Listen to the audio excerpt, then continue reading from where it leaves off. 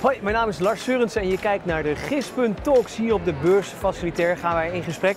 We zoeken inspirerende verhalen, voorbeelden van de circulaire economie in werking. Want dat is die. Maar als je ermee aan de slag wil als bedrijf, hoe begin je eigenlijk? Hoe krijg je dat voor elkaar? Uh, een van de mensen die uh, daarbij zou kunnen helpen is uh, Pieter van Os van Circo. Tenminste, jij geeft vorm aan het programma Circo. Ja. Um, hoe, hoe, hoe, zit dat? Welke, wat voor bedrijven zijn überhaupt in, aan het denken over wat ze moeten met de circulaire economie? En hoe komen ze dan bij jullie terecht? Nou, er zijn best wel veel bedrijven die uh, op een of andere manier getriggerd zijn door het concept van circulaire economie. En uh, dat kan zijn omdat ze beter met de planet om willen gaan. Het kan zijn omdat ze zien dat het innovatie uh, met zich mee kan brengen. Het kan zijn dat ze over grondstofschaarste zorgen hebben. Er zijn best wel veel motivaties. Ja. Um, alleen waar begin je, als je een MKB-bedrijf bent, waar begin je met circulaire economie? Het is heel nieuws, het is voor een deel abstract. Het stelt echt hele andere eisen aan je business en aan je producten. En uh, wij hebben een ontwerpproces uh, ontwikkeld waarin je eigenlijk in drie workshopdagen gewoon aan de hand wordt genomen. Een heel strak geleid proces. En aan het eind van die drie dagen heb je eigenlijk een propositie naar jouw klanten ontwikkeld. Workshopdag 1, wat gebeurt er? Ja, de eerste dag begint met de waardevernietiging in jouw keten. En dat is ook een beetje een begrip van ja, wat is nou waardevernietiging? Maar we beginnen vaak bij een recyclebedrijf. En een mooi voorbeeld is een recyclebedrijf en uh, dan hebben we een rondleiding. En het eerste wat je ziet is een ijskast die met zo bang met een klauwhamer uh, in elkaar geslagen wordt. En zie iedereen zegt, kijken, maar zo gaan we toch niet met materiaal om. Wat is het primitief dat we dat doen? En soms komen zelfs die ijskasten gewoon nog uit hun doos.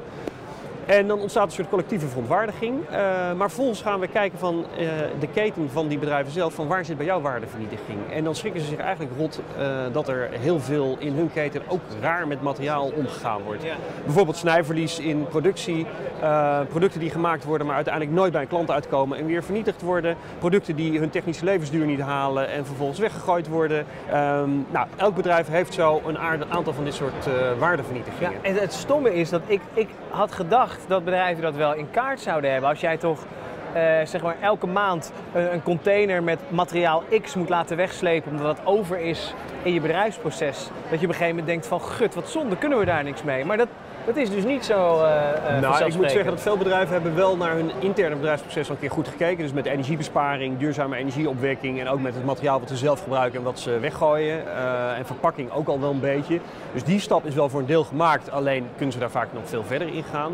Wat heel anders is, is dat uh, bedrijven zich weinig afvragen. Als ik mijn product verkocht heb en de verantwoordelijkheid wordt overgedragen, wat gebeurt er dan met mijn product? En een hele belangrijke ontwerpvraag is eigenlijk waarom stoppen gebruikers met het gebruiken van mijn product? En wat gebeurt er dan met dat product? Ja, daar hebben ze, de meeste bedrijven hebben helemaal geen zicht op, want die verkopen iets, de transactie is geweest en daarna verliezen exact. ze überhaupt contact met hun producten. Klopt, en met een beetje pech zit er ook nog een distributiekanaal tussen, dus ja, dan kennen ze hun klanten niet eens. En, uh, ja, en daar zit heel veel ruimte nog. Ja. Is dat eigenlijk ook, zeg je, uh, één hele belangrijke reden, misschien we lopen een beetje vooruit op stap 2 en 3 nu, maar een belangrijke reden voor, voor bedrijven om ook überhaupt in die meer circulaire gedachten te gaan, uh, gaan denken. Hé, hey, er zitten zoveel voordelen aan. Je noemde net al eventjes, uh, het, het roept op, het dwingt je bijna tot innovatie. Je gaat anders kijken naar waar kan ik waarde creëren. Maar ook dat contact met je klanten. Dat, het wordt veel meer een relatie dan puur iemand die jouw product afneemt. Klopt, nou je loopt op de zaken vooruit, maar stel dat jij een product levert en je spreekt met je klant af dat je het na de gebruiksduur, stel na acht jaar terughaalt, of omdat je statiegeld hebt, of omdat je eigenaar be bent, blijft. Dat betekent dat je inderdaad gedurende die tijd een aantal contactmomenten hebt, dat een klant zich ook meldt als hij een nieuwe aanschaf gaat doen. Dus ja, je krijgt een veel diepere relatie met klanten, uh, even nog los van de services die je eventueel gedurende die periode gaat uh, aanbieden.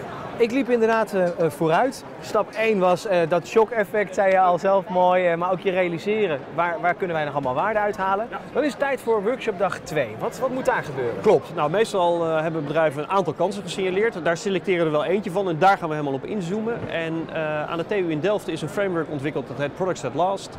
En daar zitten vijf circulaire businessmodellen en zes circulaire designstrategieën in. En die gaan we toepassen om echt gewoon tot een propositie te komen van wat ga ik mijn klant aanbieden dat circulair is. En er zitten drie elementen in. Dat is mijn businessmodel. Dus hoe ga ik geld verdienen? Wat betekent dat voor mijn product? Dus moet ik mijn product anders ontwerpen om uh, dat ook waar te kunnen maken? En vaak zit er ook een soort verdienstelijking van je aanbod in. Dus welke diensten moet ik verder nog gaan leveren naast mijn product om dat circulaire aanbod ook daadwerkelijk te kunnen doen? Ja, uh, maar sowieso betekent het dus aan het werk. Het is kijken naar je eigen processen. En eh, het is niet zo dat bedrijven zeggen, nou, doe mij maar een postje circulaire economie. Want het, impliceert altijd dat je aan de slag moet in, in, in alle lagen van je, van je bedrijf. Je moet helemaal alles doorlichten. Dat is best wel een, iets wat je vraagt van, uh, van bedrijven dan. Uh, ja, klopt, maar dat is ook precies de kracht. Uh, je kan ook eigenlijk zeggen dat het is een bril die je opzet, namelijk de circulaire bril, waarbij je heel veel dingen die je al jaren doet ter discussie stelt en door een hele andere bril bekijkt, dus ook met hele andere oplossingen komt en ook dus eerst andere inzichten en dan andere oplossingen. Dus ja, je vraagt veel. Je kan ook zeggen het is het ultieme manier van creatief kijken naar uh, alles wat je altijd al op een bepaalde manier hebt gedaan. Hoe kan ik dat verbeteren? Ja. Stap 3. Nou, uiteindelijk wordt, het dus, uh, wordt dat, uh, uh, de circulaire waardepropositie werk je uit. En vervolgens de vraag, wat moet ik gaan doen om dat ook daadwerkelijk in de markt te zetten? Nou, dat is een enorm veranderproces. En daar maken we een roadmap van. Dus wanneer ga ik wat doen? Nou, dat is heel traditioneel natuurlijk een roadmap. De uh, extra dimensie die erbij komt eigenlijk met wie ga ik dat doen. Dus in uh, heel veel circulaire proposities uh, ga je meer aanbieden. heb je aansluiting met je keten nodig, zowel aan de achterkant als aan de voorkant. Um, dus dat is de vraag, hoe zorg ik dat ik andere partijen erbij ga halen? En ook wat is de motivatie voor hen om met mij mee te gaan doen? Of hoe inspireer ik ze om met mij mee te gaan doen? Jullie hebben al een groot aantal bedrijven geholpen. Ik, een ambitie heb ik gehoord om komend jaar 200 door deze circulaire inspiratie heen te halen. Ja. Het programma van, uh, van Circo. Uh, wat voor type bedrijven hoop je dat zich, zich melden? Even voor de mensen die, die kijken, zeg maar. Ja. Wanneer weet ik, hé, hey, ik moet eigenlijk naar die website, klik.nl slash Circo, het overheidsinitiatief is. wie, wie moet er komen? Nou, over het algemeen zijn het maakbedrijven. En uh, van allerlei soort. Um, dus uh, daar hebben veel bedrijven mee gedaan die in de meubelbranche zitten. Dus heel toepasselijk hier. Gisp is natuurlijk ook heel erg bezig met uh, circulaire economie, maar ook andere partijen. Um, daar hebben bedrijven uit straatmeubilair mee gedaan. daar hebben ook hele industriële bedrijven, dus machineleveranciers mee gedaan. nee, dus eigenlijk bedrijven die iets maken en denken dat ze er bijt bij hebben. Dus dat ze kunnen innoveren door circulair te gaan werken. Pieter van ons, ik wil je hartelijk danken voor het, uh, het verkondigen van het circulaire evangelie. Want uh, zo bevlogen ben je over dat uh, thema, dus dat, dat is mooi. Wil je daar meer van weten? we maken de contactgegevens natuurlijk even beschikbaar. kijk anders op die, op die website. We noemen hem nog één keer. KlikNL .nl slash circo. Nou, dan, heb je, dan weet je alles en dan kun je aan de slag om ook jouw bedrijf meer circulair te maken. Je hebt gekeken naar de Gispen Talks. Vond je dit een leuk verhaal? Deel het met vrienden, bekenden, mensen voor wie dit interessant zou kunnen zijn. En kijk alle andere Gispen Talks ook even terug op het kanaal. Mijn naam is Lars Seurensen en graag tot de volgende.